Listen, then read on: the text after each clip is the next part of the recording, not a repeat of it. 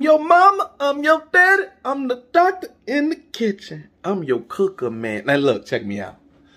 It's been a little minute. I think probably over a week or so before I made a video of me cooking. And I'm back. So, yeah, yeah, yeah. We got a few items, few ingredients, except for the grits. Don't mind the grits. But we got a few ingredients that we're to use today. And this is the star of the show. Let's go. All right. Um, so we're going to start with our lamb loin chops.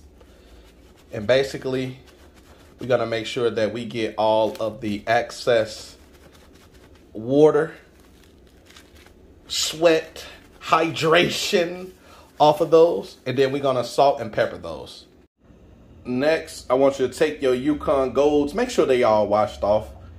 Take you some extra virgin olive oil. Make sure your olive oil ain't been slept with. That's the best kind. You know what I'm saying? Who likes a dirty, dirty olive oil? Nobody. Make sure you get some in your pot, your pan, your skillet. You know what I mean? Make sure you get that oil all around because potatoes are going to go in there. We are going to pan roast these potatoes. All right, get your salt and pepper in there.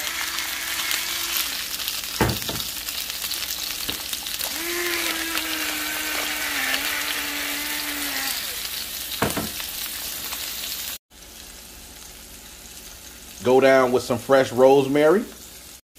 Oh, today we got two skillets running. We came to cook cook. Take that bacon. Go ahead and get that all fried up.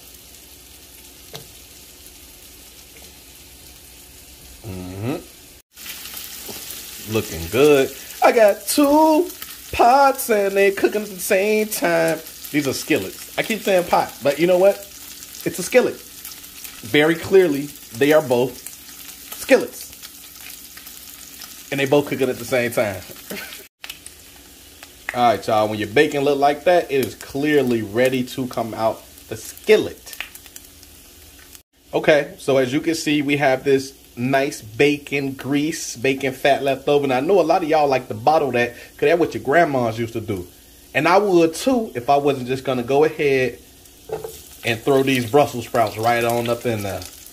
That's what I need for you to do too.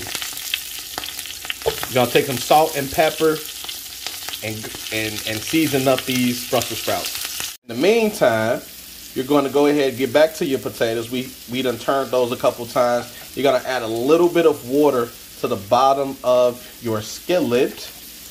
And that will continue the cooking process. And you're going to cut this fire down some.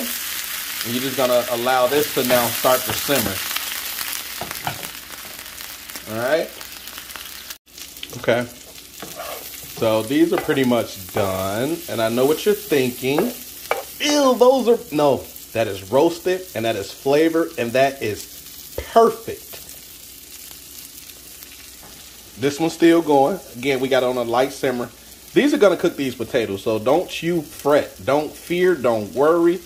This process will cook these potatoes perfectly for you. All right, now that we've cleaned our skillet, our Brussels sprouts are put to the side. We got a, a high heat going and we're gonna hit it with that high heat, high smoke avocado oil because the main event is about to arrive. Oh, as you can see, we've already chopped up our bacon. That is going on top of the Brussels sprouts. Now, lamb cooks very quickly. So you really need three minutes per side, especially if you're going to go with a medium rare like I am. So the first thing you want to do is get it down on that fat.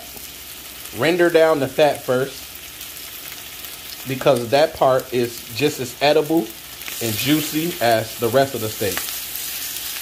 So render down that fat. Make sure you hit that first. Get a nice sear on there. And then you're going to lay down your lamb two to three minutes per side, depending on the flavor that you like for your lamb. I'm going with a medium rare. So after, so after you've gotten a nice little crust to your fat. You lay down both sides of your lamb and let that cook for three minutes as I specified. And then I'm gonna bring you back when I flip it over. All right, so it's been two minutes. Let's flip it over, see what we got. A nice crust, beautiful. Oh, this one is beauty. Ooh, perfect. I don't know what happened right here, but it's okay because we redeemed it with this one right here. Now, you are going to take you some garlic, shallot, and that rosemary and get that in there. And of course, but not yet, we're to go down with some butter. Let that cook for another three minutes and then we're going to set that to the side, those lamb chops. All right, so we have removed our lamb and we're to go back in, leave everything else in, go back in with some olive oil. And then I want you to take some of your white mushrooms. No stems. We don't need no stems for this. And I want you to get let that do its thing. All right. Once those mushrooms get a chance to cook, maybe just two minutes or so, make sure you go down with you some beef broth. And hey, don't you don't have to heavily salt this. So get that beef broth in there. Cut that fire down a bit and just let that simmer down. All right, now that you've let that cook for about two minutes or so, take you a nice bottle of red. I really like the Zapata. This is a blend, and I truly enjoy this red wine. And now you get that red in there and let that mix with the rest of those flavors, and you're gonna let that cook down into a nice roux when that chills a bit, then we're gonna add the butter. But again, you know, I'm gonna bring you on camera for that. All right, now when you see everything almost slightly is boiled off, you cut that fire down, add you a little butter, and thus your sauce is born. Look, that looks beautiful. That by itself is delicious. But to take it up a notch, you're gonna take some balsamic,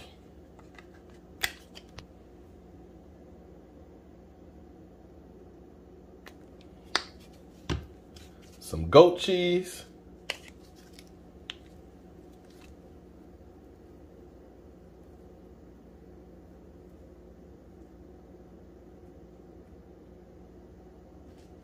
And that bacon.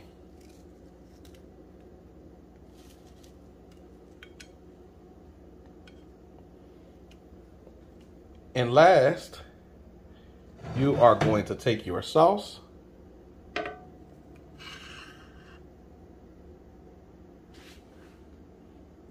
Make sure you get your taters. And make sure you get your lamb.